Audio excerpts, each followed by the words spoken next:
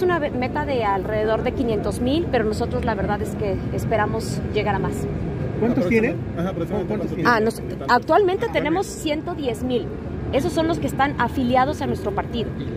Y la meta que, que, nos piden, obviamente, en el Nacional es de 500 mil, alrededor de 500 mil.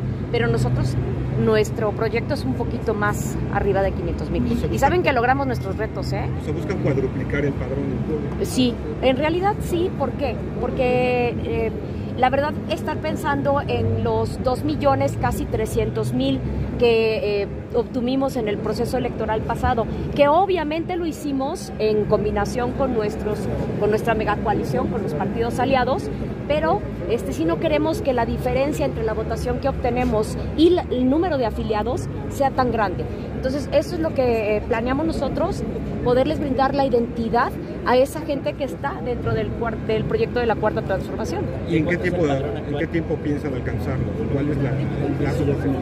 Bueno, nosotros esperamos que sea ah, más o menos por diciembre del próximo año que tengamos este, pues ya muy cercana la, la cifra a la meta que tenemos.